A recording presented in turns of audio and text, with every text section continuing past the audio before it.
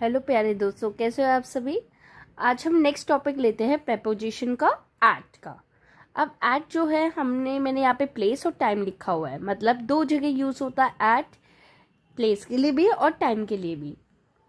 Place कौन सी वाली place के लिए? छोटे स्थानों के लिए स्मॉल प्लेसेस के लिए। जैसे at church at temple at cinema hall at market area तो इनके लिए क्या यूज़ होता है?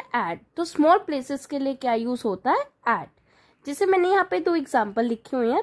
He lives at Samastipur. They are at home ऐसे ही एट जो है प्लेस के साथ साथ टाइम के साथ भी यूज़ होता है। टाइम के लिए कैसे? आर के लिए। जैसे कोई भी वन ओ क्लॉक हो गया टू ओ क्लॉक हो गया, जो भी आपके क्लॉक में जो टाइम्स होते हैं, उसके लिए क्या यूज़ होता है?